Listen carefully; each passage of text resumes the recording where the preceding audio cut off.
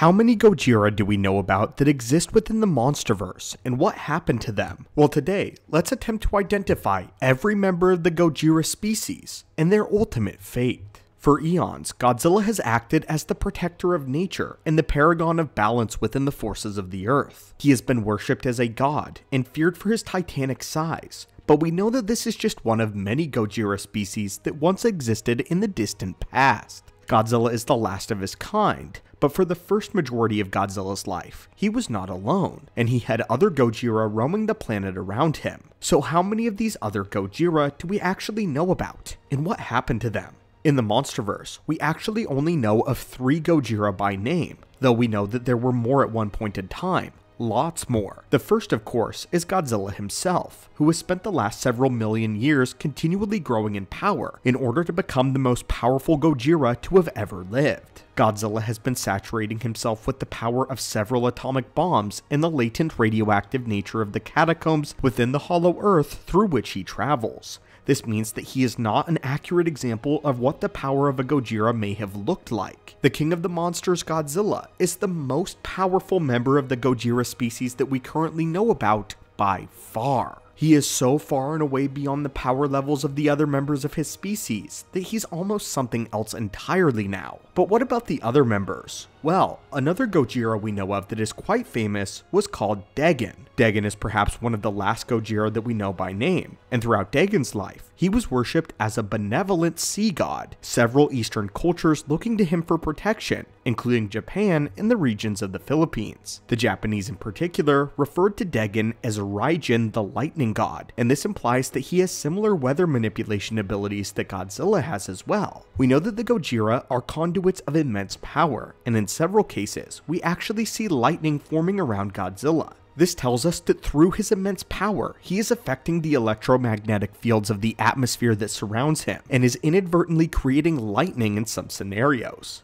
The fact that the Japanese regarded Dagon as a lightning god seems to indicate that he did the same thing. Dagon, though, was described as being far more calm than Godzilla is, more of a benevolent protector of humanity than Godzilla, who is a protector of the entire planet and could care less about the fate of humanity. Dagon was also a lot smaller than the current Godzilla that we know of right now. Unfortunately, the benevolent god Dagon met his end at the hand of the Muto Prime, and serves as a cautionary tale for the impact that the Mutos could have on Godzilla if he was not careful. The Mutos are known as the Gojira killers, and are known for infesting their larvae into the bodies of weakened Gojira, and from here, the eggs would gestate until eventually hatching, killing the Gojira and giving way to more Mutos in the process, as the infant Mutos fed off of the radioactive power within the Gojira. Even if Godzilla was not outright killed by the Mutos, if they successfully impregnated him, he would eventually die. And Dagon was an example of this, escaping death at the hands of Muto Prime for a period of time but eventually succumbing to his injuries. In life, Dagon was far more peaceful and tolerant of humans, and several cultures refer to him as a benevolent and a protective god, whereas Godzilla himself is viewed by similar cultures as a demon or a curse. Godzilla doesn't particularly care for humanity one way or another, although he has no issue with them outright. Godzilla simply seeks to protect the balance of nature, and so far, humans are not a threat to this system, so Godzilla doesn't have any positive nor negative feelings on humanity. After Dagon died though, humans of this region lost their protector, and the sad truth is that they never actually learned what happened to their savior, only that he engaged in a battle with the Muto before retreating into the ocean, never to return again. Dagon, however, is not the only Gojira that we know of, and we actually can point to one more that we know by name. We are of course talking about the legend of the Zos Lahawa, and although we haven't officially met this Gojira in person yet, we do see a reference to him in the official concept art booklet from Godzilla vs. Kong. This art collection displays a mural showcasing a flying Gojira, and we believe that this is in reference to the Iwi legend of the Zos Lahawa, otherwise known as the Gojira who was driven wicked. Even if this flying Gojira is not specifically the Zlahawa, it is evidence of another Gojira in this age who is not only able to use the same atomic breath power as Godzilla, but appears to also have developed wings. Regardless of whether or not this is eventually confirmed to be the Zlahawa, it is important to call attention to this Gojira as well. We haven't officially seen the Zlahawa, but according to legend, this beast was so mighty that he called for the unification of the Titanus Kong and the Titanus Gojira to stop him,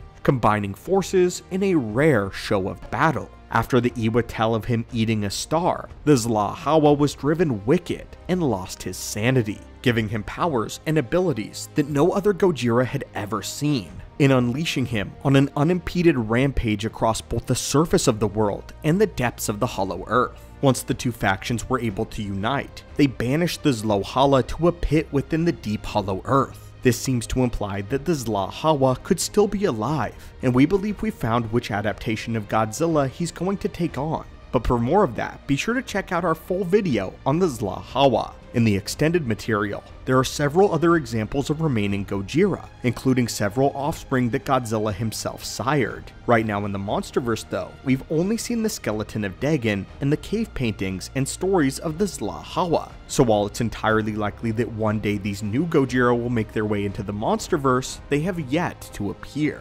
There is one more honorable mention though that we'd like to bring up even though he's not technically an organic Gojira, and that is the false Mechagodzilla.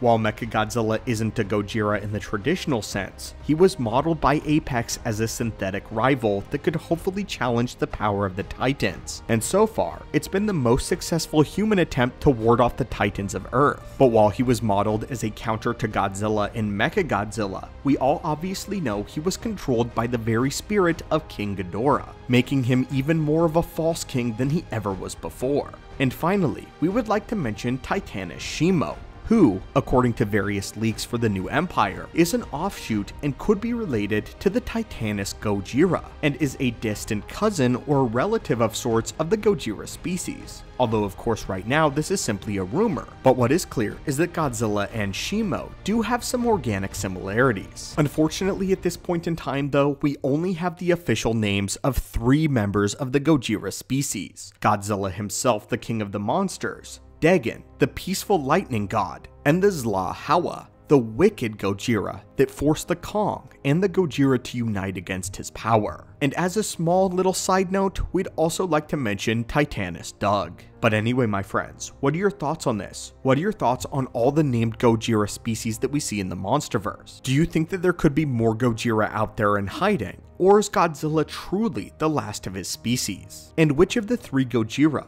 is your ultimate favorite? Thank you so much as always for stopping by the channel today, my friends. Hit that subscribe button, and I hope you're having an amazing one.